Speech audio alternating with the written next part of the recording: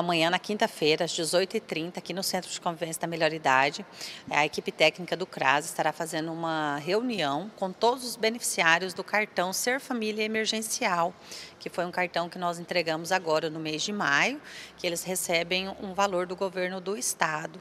Então é uma reunião aí para orientá-los como receber a equipe em casa, é, como não perder esse benefício, quais são as obrigações deles em relação a ter esse cartão, cuidados, participação nos eventos. Então assim vai ser uma orientação bem direta e rápida é um programa de ação social. Então, por isso, essas pessoas que recebem esse benefício têm que ficar atento a tudo isso, justamente para não perder. Por isso que é importante esse chamamento. É um programa social do governo do estado, então o município é representante também e as obrigações de conferência, acompanhamento e dia a dia é toda do CRAS do nosso município e da Secretaria de Saúde por meio das ACS e da equipe que faz o acompanhamento nas casas também das famílias. Hoje o município de Alto Garças ele é beneficiado com quantos Ser Família?